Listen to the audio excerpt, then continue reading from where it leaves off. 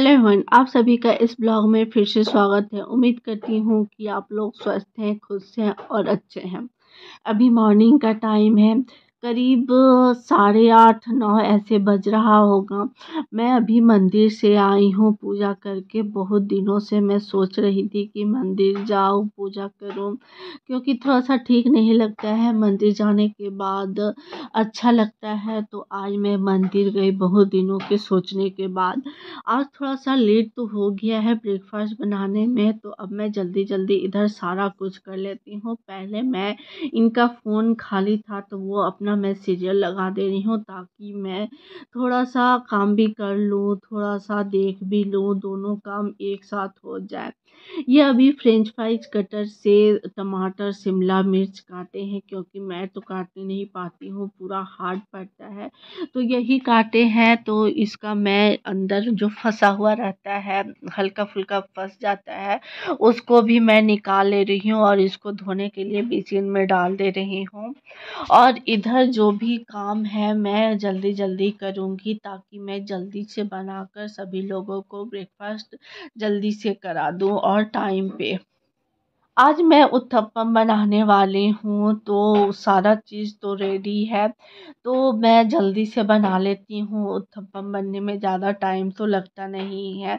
और एक तरफ़ मैं दाल भी बैठा दी थी, दाल तो अब हो गया है तो उसी तरफ़ मैं चावल भी बैठा दे रही हूँ ताकि मैं लंच भी साथ में बना लूँ। उतना झंझट ना करना पड़े और एक साथ सारा काम हो जाए ब्रेकफास्ट लंच फिर अलग से टाइम निकाल कर बनाने नहीं पाऊँगी। थोड़ा सा थका थका भी लग रहा है अभी क्योंकि सुबह उठने के बाद थोड़ा सा काम ज़्यादा हो गया झाड़ू पोछा जल्दी जल्दी मैं की झाड़ू देने के लिए दीदी तो आती हैं, पर आज मंदिर जाना था, इस वजह से मैं सुबह उठकर सुबह ही जल्दी से दे दी ताकि मैं पूजा यहाँ पे कर सकूँ, क्योंकि बिना झाड़ू पोछा का पूजा करते बनेगा नहीं इसलिए करना पड़ा। तो थोड़ा सा काम ज़्यादा पड़ गया है, मंदिर गई हूँ तो चलना भी पड़ा। तो थक तो गई हूँ, पर अब ब्रेकफास्ट भी बनाना है तो मैं बैठ कर अभी बना रही हूँ, क्योंकि खड़ा होने का बिल्कुल ही मन नहीं कर रहा था। अब हल्का फुल्का किचन में हूँ तो खड़ा तो रहना पड़ेगा, पर बैठ कर ऐसे बनाऊँगी तो थोड़ा सा पैर को भी आराम मिलेगा। और जैसे जैसे मैं उत्थप्पम बनाते जाऊँगी वैसे वैसे सबको देते जाऊँगी, क्योंकि उत्थप्पम गरम गरम ही अच्छा लगता है, कुछ खाना ऐसा होता है जो गर्म खाने में ही अच्छा लगता है। तो एक और निकलने के बाद मैं पापा को दे दूँगी और पापा के खाने के बाद इन लोग दोनों भी खा लेंगे। तो मेरा इधर का काम जल्दी ख़त्म हो जाएगा।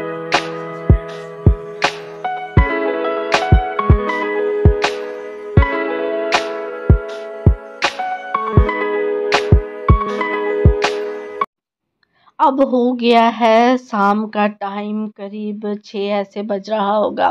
नहाने में थोड़ा सा ज़्यादा टाइम लग गया, अभी मैं दिया दिखाने के लिए आई हूँ। शाम का दिया, मैं नहा कर ही दिखाती हूँ। ऐसे मैं दिखाती नहीं हूँ तो नहाने में थोड़ा सा टाइम लग गया।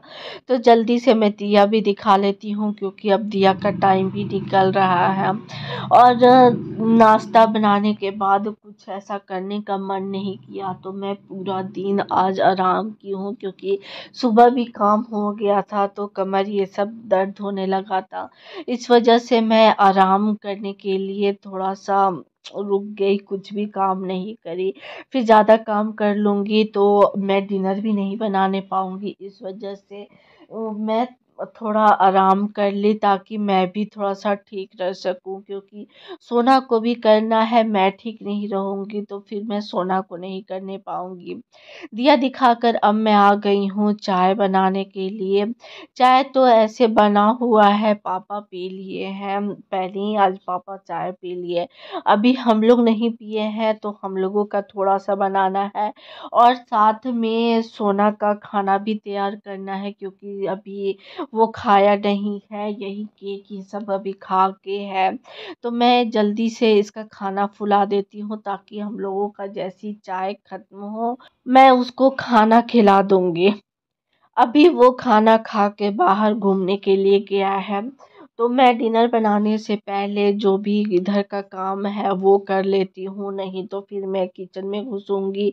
तो इधर का काम ऐसे ही पड़ा हुआ रह जाएगा। खाना के अलावा तो वैसे कुछ एक्स्ट्रा काम होता नहीं है।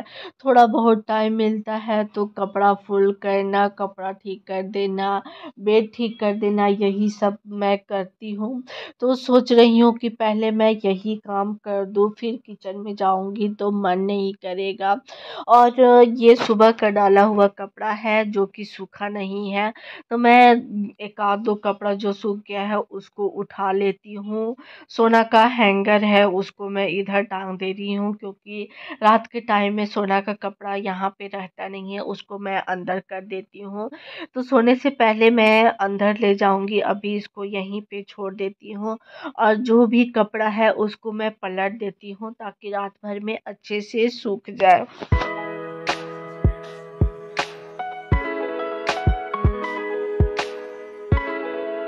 इधर कपड़ा का तो हो गया मैं थोड़ी देर यहाँ पे रही तो अब मैं जाती हूँ थोड़ा सा रूम को भी ठीक कर लेती हूँ, क्योंकि रूम पूरा बिखरा पड़ा हुआ है जैसे तैसे है।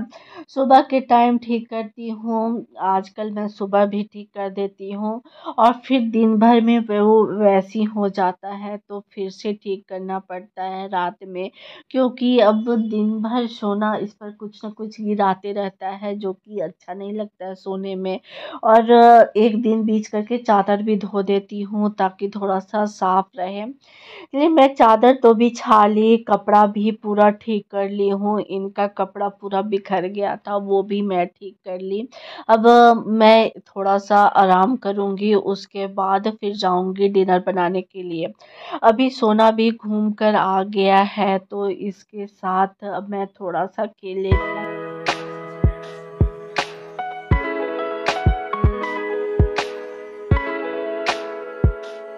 अभी इन लोग बाहर गए थे तो मैं अभी आइसक्रीम मंगवाई क्योंकि ये अभी आइसक्रीम खाने का मन हो रहा था।